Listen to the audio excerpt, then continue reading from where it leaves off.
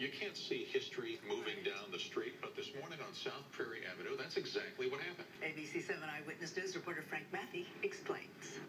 Prairie Avenue on the city's south side leads you straight to Chicago's past. And this morning, a stroll down Prairie brought you face to face with a coach house on the move. Built in the late 1860s, it was home to horses and carriages and was part of one of the wealthiest streets in America. Prairie Avenue would have been the place to live on in the 1870s and 1880s. All of Chicago's business and social leaders lived on the street, uh, including Marshall Field, George Pullman, Philip Armour, who would have all been neighbors of Mrs. Rees. Prairie Avenue in the 1880s. You didn't live here unless you had lots of bucks. And wealthy widow Harriet Rees had just that. She built this mansion at 2110 South Prairie for $35,000. In a the new site down the block. And it's all because of a McCormick Place expansion.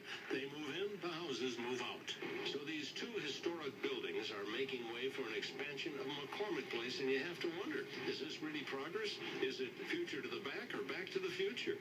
Yes, well, that is a very controversial issue.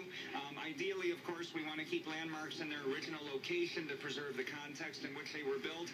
In this particular situation, with how much the neighborhood has changed through the decades, ultimately the best decision was to move it actually next to another um, historic house.